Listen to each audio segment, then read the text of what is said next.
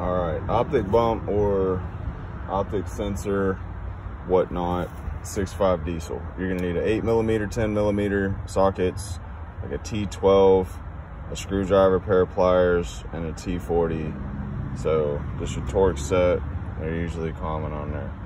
Take your upper intake off. That's your eight millimeter. These are your six, six, uh, 10 millimeters. And then this is what you're looking for right here.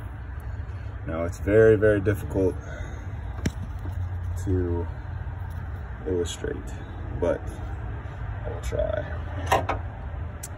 This, this is a T40. This is part of the injection pump and this is your optical sensor. This with this cable. You have to be very careful when you get this off. These, these Torx and whatnot, you can't break this cable. You have to be very, very careful.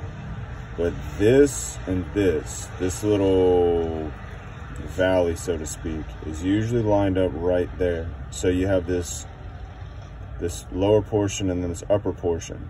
So that's cut down, that's cut up. Mine was, the valley was 100% perfectly centered with that. So what they say, and I don't know if it's true, is that you move, you loosen this and you move this upper portion and the lower portion. So there's a lower portion, so that's your lower portion, the bottom, and then this is your upper. They both move. So you can move this to the left, you can move the top portion to the passenger side, and then you can move the lower portion to the driver's side. It's obviously gonna be fiddling with. A lot of people say they have to do it about 10 times to get it just right. There's no real way to know what you're doing other than having like a real meter and showing where the timing's at. But what this does is this advances when it starts the fuel. It does not change when it ends the fuel. So let's say it, it, it throws fuel in there for 12 degrees of rotation. It's, it's gonna, if you bump this to the left, it'll be like 13 degrees of rotation. So instead of 12, it'll be 13. So the end point is the same. The starting point is advanced. That's what this does. And they say you're only supposed to move it like a millimeter or two.